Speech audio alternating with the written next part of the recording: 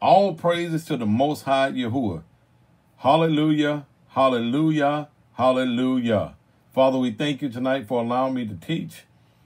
We thank you tonight, Father Yahuwah, for allowing me to be here.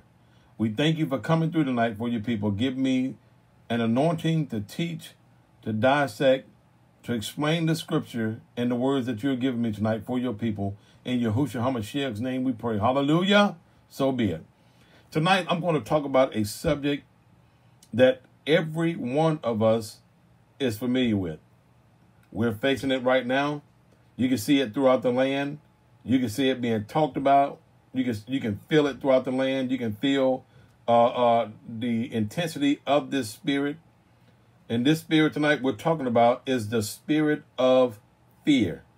The spirit of fear. Yahuwah was speaking to me strong, has been speaking to me strong since Friday about this spirit of fear. And I was trying to find a way to get in to teach about the spirit of fear. And so here I am tonight. I'm going to go through a few scriptures. I'm going to talk to you about this spirit of fear. It's real. It's relevant. It's the times that we're living in. But we, as the people of Yah, have no need to fear about what's going on in the land because there will be a rescue of Yahuwah's people. He will get us away from this place. He will get us out of this land. But while we're in here, we need to practice walking by faith and not by sight. In such a way, not for things, not for possession, but for our mind's sake, for our physical sake.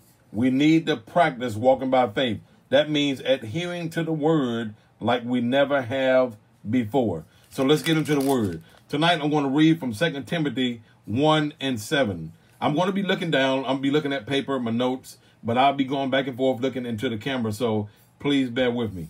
2 Timothy 1 and 7 says, For Yahuwah has not given us the spirit of fear, but of power and of love and of a sound mind. So if Yah is not giving us this spirit called fear, who's giving this spirit? Who's pushing this spirit in the land? It's none other than Hasatan himself. And he's utilizing his people. Yes, he has people. He has his crew.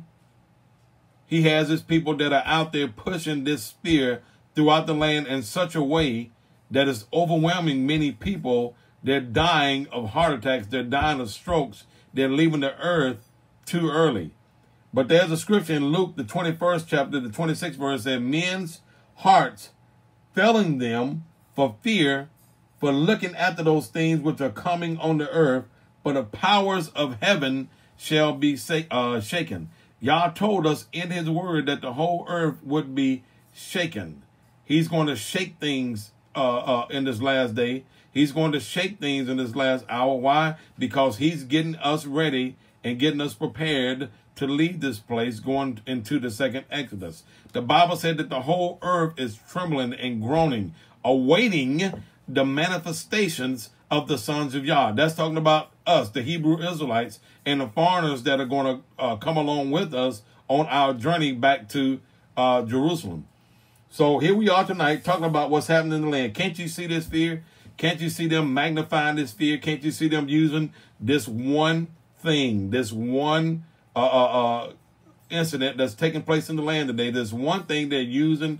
They're going over and over. They put, got it on TV. They got it on commercials. They got it all posted all over this land. They got it everywhere. It's all over the world, getting people scared, getting people uh, afraid to run right into their plan, to run right into what they want you to run into, so you can end up taking what they call an immune shot, which is not an immune shot, it's a serum that they have come up with a concoction to destroy mankind or to get tags on us so they can keep an eye on us and keep keep up with us as we go throughout our daily walk. Now watch this. The Bible says, For Yahuwah has not given us a spirit of fear, but of power, love, and a sound mind. What is fear? In the Greek, the word fear means the alea, alea, which means timidity, fearfulness, cowardice. Yahuwah told us never to be cowards. He said, Don't be a coward. He said, But be very courageous. That's what got our ancestors in trouble uh, when they were over in going towards the promised land. They began to fear when Yah had picked out the 12 spies to go into the land. Uh, they began to fear. They couldn't see uh, their way past what they saw in front of them, which were the giants. When they had just seen Yah destroy 10 of the Egyptian gods, all of those miracles that Yah did was going against every god. The, the Egyptian had over 110 gods, 101 to 110 gods, and make that plain. That he went after. He only destroyed six of the main, ten, excuse me, 10 of the main gods. That's what he was after. He went after the stronghold gods, the one that were weighing down on his people. So he went after those 10. That's why he did those 10 miracles to show his people that he was in charge, he was in control. And so when they got out into the wilderness, they began to murmur and complain because they couldn't see a way out of no way, in which Yah had already just made a way out of no way. And so Yah got upset with his people. And most of them end up dying where? In the wilderness. Now listen to this. So fear, timidity, fearfulness should not be named among Yahuwah's people. We shouldn't be walking in fear. We got the Bible said we have power over all the power of the enemy, and nothing shall by any means hurt us. No thing shall by any means hurt us. The Bible says that um, no weapon formed against us shall prosper, and every tongue that rises up against us in judgment shall be what? Condemned. For this is the heritage of the servants of Yahuwah, and their righteousness is of me. Yah said, I have given you power over the enemy. You shouldn't be walking around in fear.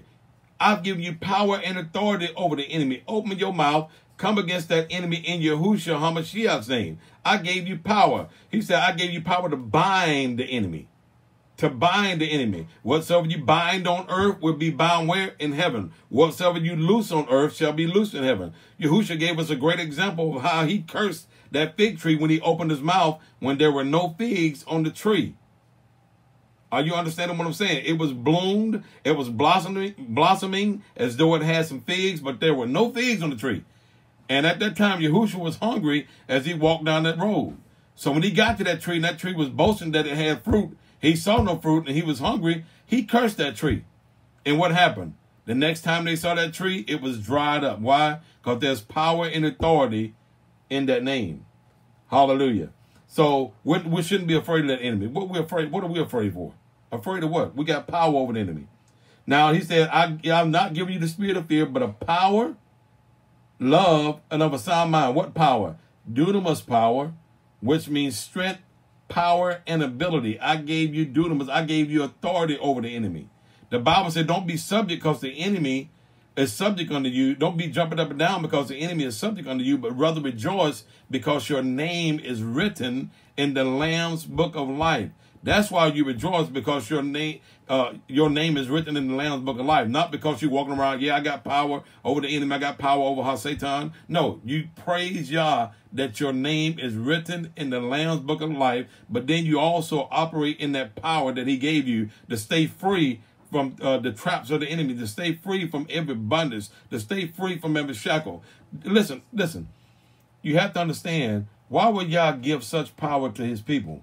because he knew the times that we're going to be living in. He knew the things that we're going to be facing. And on this earth, you need a supernatural power to help you make it through. I don't care what nobody think. I don't care what they're saying. We need Yahuwah's power to make it through. Are you hearing me today?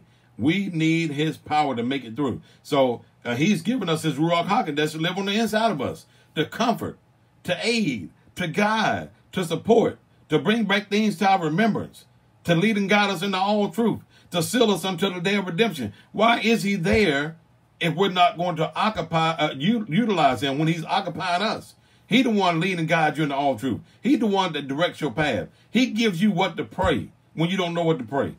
Are you hearing me? You got the power. Start utilizing it. Stop sitting back saying, oh, I'm weak. I'm going through this. No, you don't have the spirit of fear. You got power, love, and a sound mind. This may be too strong and heavy for some that don't see this or can't see this, but you need to open your eyes and wake up and realize power gonna have to meet up against power.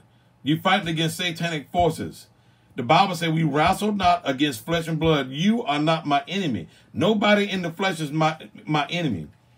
Uh, so we don't wrestle against flesh and blood, but against principalities, against powers, against the rulers of darkness of this world, against spiritual wickedness where? And high places. You got people that are in high places. You got spirits uh, uh, uh, that are occupying this land. Turn the fan though. So we are in a we are in a crazy place right now, and we need to know these things. Why? Because Yah want us to fulfill our destiny. Hallelujah. Thank you.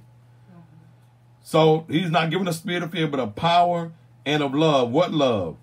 The Bible says the, the Hebrew word for love is ahava, which means the Yahuwah type of love, the never failing love, the endless love, the everlasting love. Now we know they use a lot of Greek words in the uh, uh, the New Testament, so they they used the uh, word like agape love, which means unconditional love. There are four type of love they use in the Greek, which is storge love, which is empathy, uh, uh, empathy, a bonding type love, a phileo love, which means a friendship type love, eros love, which is a romantic love, and agape love, which is unconditional and a sacrificial love.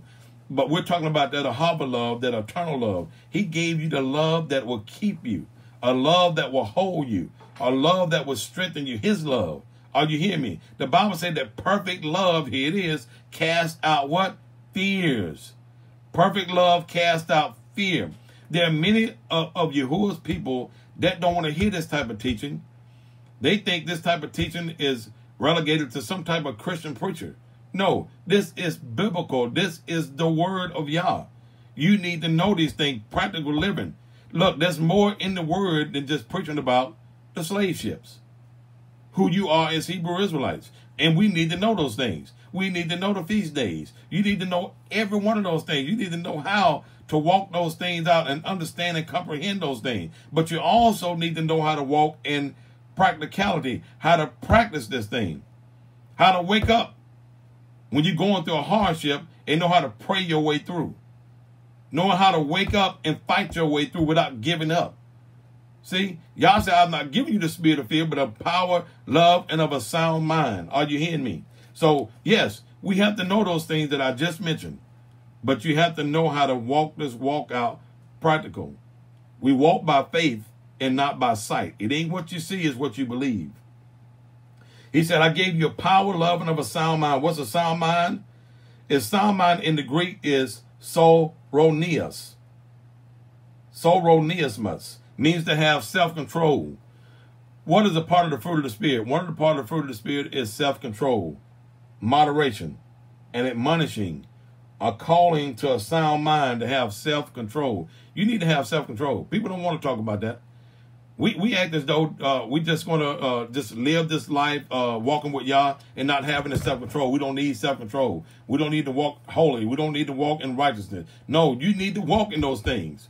That's a part of your living too. A righteous and a set apart life. Be ye perfect, mature, as I am perfect and mature.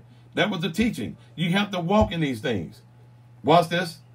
The word fear is mentioned over 385 times in the New and the Old Testament. The word fear not is mentioned 144 times. The words no fear is mentioned 20 times. Are you hearing me? So this word fear is throughout the Bible. It's letting you know that Yah does not want us and does not expect us to walk in that arena of fear. We need to get past that. So let me tell you right now, the way things are going now with the television, with the movies, they're generating and they're promoting fear at a level that I've never seen before. They are pushing it so strong and they're blatantly doing it in our faces. But we have to be able to be strong enough and not allow ourselves to be overwhelmed by fear. The Bible said, My people are what? Destroyed for lack of knowledge. And a lot of our people don't want to know stuff like this. They think they already got it. The next thing you know, you see them going crazy. You see them losing their mind. I'm being overwhelmed. I'm being attacked. Well, the scripture is in there, uh, in, is in the Bible that tells you how to overcome these attacks. How do you overcome these attacks? You have to run to the word. He that dwelleth in the secret place of the Most High shall abide under the shadow of what? The Almighty. The Bible said there is no fear in love. Here it is. Who is love? Yahuwah is love. But perfect love casts out fear. So these scriptures are relevant. Whether you like it or not, these scriptures are relevant. You need to know how to practice and operate in these scriptures. Scriptures. If I took a survey and I took a poll of many of Yah's people right now that are living out here, and I asked them questions like, have you ever had a panic attack? Have you ever had an anxiety attack? Have you ever had a stress attack when bills are due, when your children are going through, when family members are going through? So we don't need to talk about those things. We just need to talk about uh, the things that make everybody uh, happy and uh, make everybody know, uh, uh, understand, and comprehend that we're Hebrews. That's it. We we just Hebrews, yeah. But Hebrews have to live this life. You have to walk this life out. Look what the Bible says: the enemy cometh not, but for to steal, to kill, and to destroy. But Yahuwah said, I came to give you what? Life, and life more abundantly. You need to know how to walk this thing out. Hallelujah. And many people are running from the, these teachings and they don't need to run from them. You, at the times we're living in right now, hear me. You need to lock yourself into Yah like never before. You need to know scriptures like, Thou will keep him in perfect peace, whose mind is stayed on him because he trusts in him. Trust in Yahuwah forever, for Yah Yahuwah is everlasting strength. You need to know scriptures like, Rejoice in Yah forever. And again, I say rejoice. Are you hearing what I'm saying? He also said, and again I say rejoice. Let your moderation, now this is part of self-control, let your moderation be known unto men. Elohim is at hand. Be anxious for nothing, but in everything by prayer, supplication, with thanksgiving, let your request be made known unto Yah, and the peace, the shalom of Yah, that pass all understanding, will guard your heart and your mind by Hamashiach. Are you hearing what I'm saying? That'll guard your heart from having heart attacks, that'll guard your mind from having strokes, having a nervous breakdown, going crazy. You and I need to know this stuff. And if you don't get a hold to this spirit called fear, it will take us out. The spirit of fear will take you out. Are you hearing me? The spirit of fear can take you out. And I guarantee you this message came from Yah. And you're going to see uh, later on as people begin to watch this teaching that many are going to confirm that the spirit of fear has been attacking them. And they're facing many things. I know that there's many that don't believe in the New Testament. There's many that don't believe uh, in Hamashiach, and I got that. That's on them. That's not me. I know what I believe. And let me tell you something right now. I'm preaching the whole Bible. I'm preaching the whole roll. I teach about the feast days. I teach about the slave ships. I teach about the land of our captivity. I teach about Babylon. I'm going to teach about the wilderness. I'm going to teach about all those things. But we need to be practical. We need to know how to live this thing. Because you're not going to tell me when your bill is due, when somebody in your house is sick or going through a hard time, that you're going to go back and start talking about, well, let me read about the slave ships. What are they going to do for you? Yeah, you need to know that that's who you are and where you came from and how we got here. That's that's uh, self-explanatory. But when you're going through a hard time, you need to know that Yah can bring you out. And you need to know some scripture that can help you to stand. And another thing we need to do we need to get past people about what people think about us, how they feel about us. Man, forget about what people think. You have to be careful being afraid of what people think about you. Stop being afraid of folks. You get past people, Yah can take you somewhere. You have to get past what people think. And I'm telling you, and when Yah call you to that level of understanding of getting past people, fear can't abide. Fear cannot abide. Only faith can abide. Are you hearing me? Now, I thank you, Sister Wyatt, for saying that's right. Because many people don't understand. I don't get it why we can't teach these subjects, why we can't go back and refer to these subjects about living this life. To walk this holy Kodesh life, are you hearing me? You need to know how to do it. And it's only going to be found in the word of the living Yah. We need it. We need this. Then we're going down. So you have to do your best to stay away from the areas that cause fear. Watch what you're watching on TV. Watch the news. You can't watch that news all the time without being affected. You got to watch what they put out. They're going to put out some crazy stuff to come against your mind to make you run in and submit to what they want you to submit to. The Bible said we have power over all the power of the enemy. I'm going to repeat it. And nothing shall by any means what? Hurt us. You got power to stand. Are you hearing me? You got power to stand. Watch this. He says, There is no fear in love. Who is love? Yahuwah is love. Ain't no fear in Yahuwah. But perfect love cast out fear. What happened to the spies that went over? We be not able. We see the giants in the land. They got fearful. They got afraid. And fear caused them to turn around and bring back what? Not a faith report, but a bad report. And it caused many of Yah's people to not enter into the promised land. They died. Only 20 years old and under made it in. As they got older, and Joshua and Caleb, Joshua was Ephraim and Caleb was of Judah. There it is right there. Joshua and Caleb, Ephraim and Judah. What does the Bible say? Ephraim represents Israel, Judah. Yah's people that came into captivity on the slave ships, they're going to become one as the awakening takes place. That's in Ezekiel 37 chapter, how we're going to become one to get ourselves back together. That's our problem. We had to get, get to the place that we can become one and encourage one another and build each other up. We need encouragement.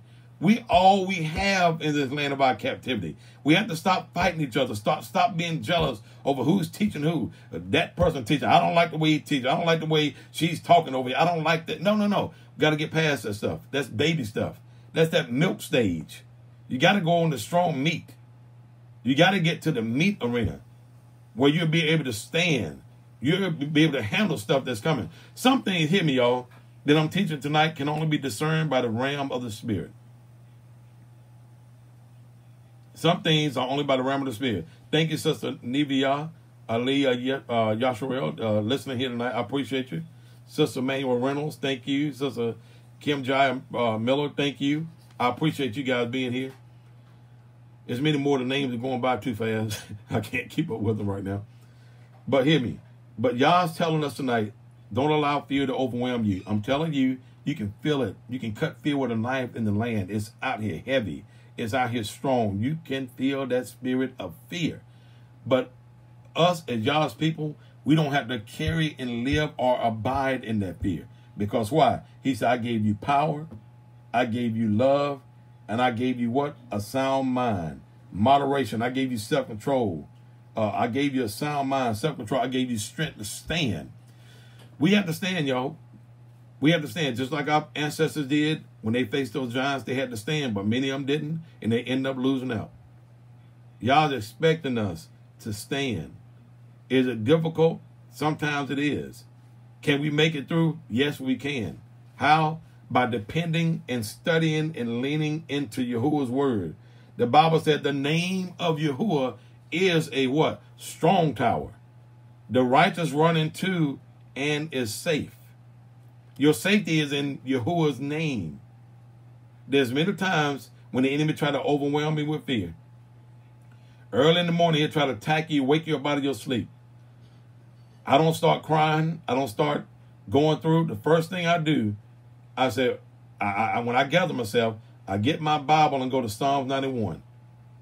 I read Psalms 91. I read Psalms 92. I read His Word. His Word is a lamp unto my feet and a light unto my path. Thy Word have I hid in my heart that I might not sin against thee. Are you hearing me? Hey, Sister Pinkley. So you have to understand that we need to run to Yah. Don't run to your trouble. Don't run to fear. That's how the lion, when it talk, there's a history about a lion. The way the lion get a lot of his prey is not because he chase them down. Sometimes he roars so loud that the enemy, the, the, the, the prey runs out in the open. Are you hearing what I'm saying? They were in a safe hiding place. They were protected. Are you hearing me? Listen to what I'm saying. The, the, the, the prey was protected. They were in a good burrow. They were in a good hole. They were under the uh, bush, and the lion couldn't find them. So he began to roar real loud, and it scares the prey out.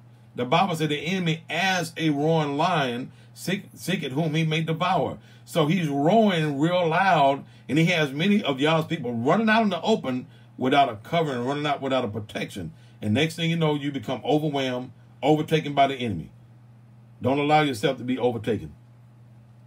Rest in Yah. He's a mighty fortress. Rest in Yah. Hallelujah. So tonight, I just wanted to give that out to you what Yah has given to me about stop being afraid. He said, watch out for watching too much of that television when they're promoting this stuff about the COVID 19, when they're promoting fear. They got so many people running in fear. They're afraid. Are you hearing me? Some stuff they're saying is so tormenting to many that they're losing their minds. The Bible says many people are going to be running to and fro in this land, afraid because of the things that are going to take place on this earth. Listen, y'all, we're in the end.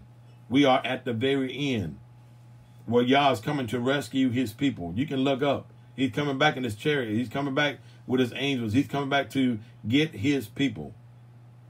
The battle is not ours anyway. It's Yahuwah's battle. It's not your battle. So rest in Yah. Relax. Trust him with all your heart. Lean not to your own understanding. In all your ways acknowledge him. He will direct your path. And leave that spirit of fear to the enemy. And you continue to walk by faith and not by sight. I love you all. Thank you for coming on. Shalom.